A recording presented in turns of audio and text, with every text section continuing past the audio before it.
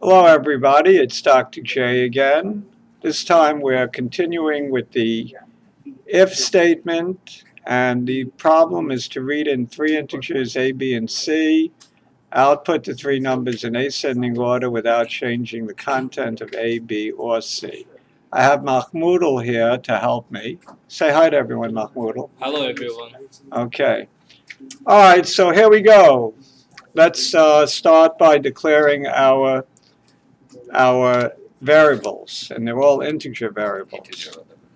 So let's let's use ABC for the input, Yeah. and let's use uh, XYZ to hold the result, because we don't want to destroy the original ABC. Okay, so now we have to ask the user for what? To enter the A, B, and C, right? Yeah. So Please enter three numbers, three integers.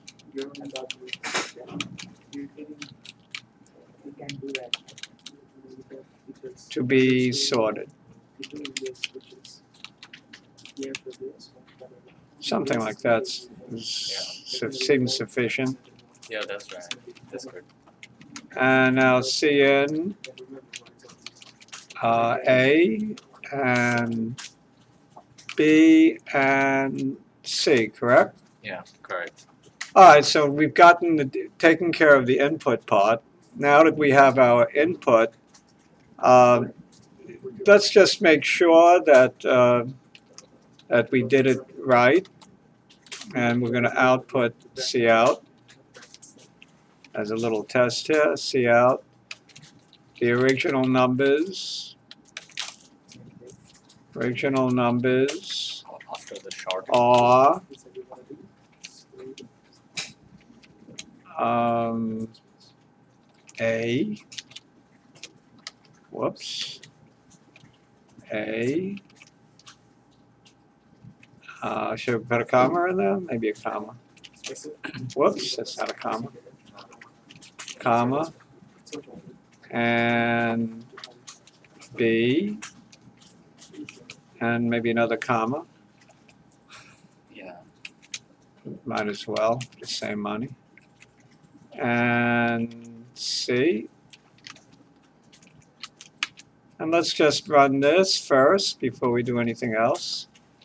Make sure we got the data in correctly. And then we'll continue with the logic of the program. So let's uh, save it and compile, compile it, compile it, and run it. We got a clean compile. So the three integers could be four, seven, and two, and it should ultimately come out two, four, and seven. But uh, this is just echoing the original numbers. okay. So now we have to, our work to, do- to do, and that is to use X, Y, and Z to do the sorting. So let's start by assuming A is the smallest, and we'll set X equal to A. So a little comment is good. Assume that A is the smallest. Now what happens if it isn't? We need an if statement to compare b to x. Yeah. So if b is is um, if b is greater than or equal to x, then it goes into y. Then y equal b because it would be in the correct order. Else we have to move we have to move uh, a to a to a to y and b to x. So else we have a little more work to do. Two steps. So the first thing we have to do is move uh, a x the value of x to y. So y equal x. And a little comment here. Move um, x to y. And now we, we, we can put into y, we can put into x, uh, b. That's because we know b is smaller than a. That's the Yes. reason for this. That's right. Okay. And now let's do one more if to figure out what to do with c. So if c is greater than or equal to um, to uh, y, we're good, right? And then it'll just go into z. And then z will be z- c, and we're done. But the problem is, what if it's not, right? So else, well, if it's not greater than or equal to y, we got to check is it greater than or equal to x? Is it does it belong there? So is C greater than or equal to X? To, uh, to X, yes. And if yes, then we know that it, bel- it belongs in, in Y and not in Z. So C should be going to Y, but first Y has to go to Z. So Z equal Y, we need a squiggly line z equal y in that case. And then then what goes into y? With me? Mahmoud? yeah y equal to is a C. Yes. And we keep uh, x alone. Yes. And finally, another, uh, if c greater than equal to y is equal to c, else we need an if. I left out a key word. If, sorry, Else yeah, I needed that, uh, I needed that, uh, if. Okay, and now we need one more else to go with that if. And, and that would mean that it's, the C would be the smallest. So we have to move everything over in that case. So we move Y to Z, and we move X to Y, and then we move C into X in that order. So the first thing we do is move um, Y to Z. So Z equal Y. And then we, well, I need a squiggly line again. Alright, so those squiggly lines, um, did I lose it? I lost my Z equal Y. Alright, let's just eliminate it, type it in again. Yeah. Else Z equal to Y and uh, Y equal to X and X equal to C. So C has three possibilities. It could be go directly into Z, it could go directly into Y, or it could go directly into X. We have to make the appropriate adjustments to get it in there. And now let's print out X, Y, and Z to make sure that it's, the- it's in the correct order. Here you have to use the else if. Uh, if, else. if this is a condition, else, Else if or just else. no, just else. Okay. Just else. Yeah. If, yeah, now we're up to C, then that's the trickier one. There's two possibilities, that's why we needed it. Okay, let's uh, save this.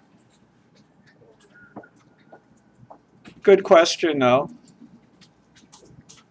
And compile it, compile and run it. How's that? Uh, expected declaration between before this squiggly. I have an extra squiggly. I didn't put the extra squiggly. Maybe we won't- we need to return zero. No, I gotta get rid of that squiggly. Did I put that extra squiggly? No.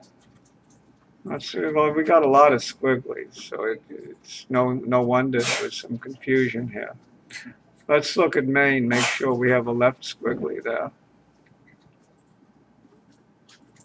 Looks like we do. Yes. And this left squiggly should match the right squiggly at the end. I don't know if it does. Well, we'll find out. Try it again. Oh, it looks better. Yeah, it's working. All right, so let's do the same three numbers. You remember the same three numbers? What I put, 7, 2. 7. Um, four, Th- seven. Oh, it doesn't really matter. Seven to eleven, Seven, two.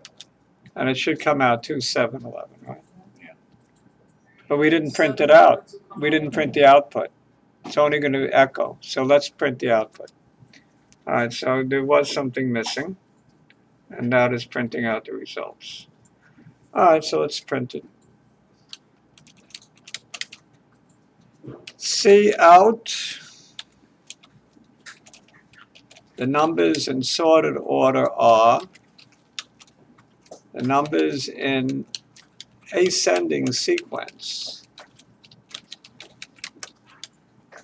are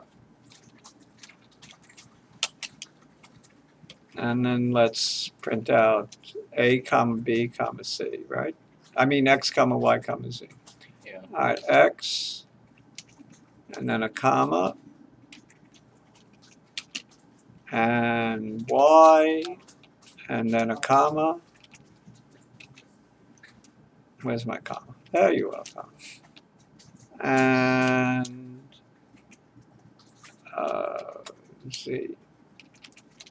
And an end line. That's right. Yeah. Okay, try again. Hopefully we typed it in correctly. Yes.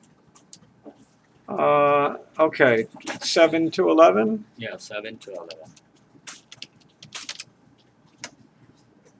The original numbers are 7 to 11. The numbers in ascending sequence are 2, 7, 11. But we can't be sure that that's definitely a correct solution we, unless we try all six possibilities. So 7 to 11 is one possibility. What if, what if we try 2, 7, 11? Make sure that works. So let's run it again with 2, 7, 11. Seven, eleven, two. Uh, Let's try 2, 7, 11 first.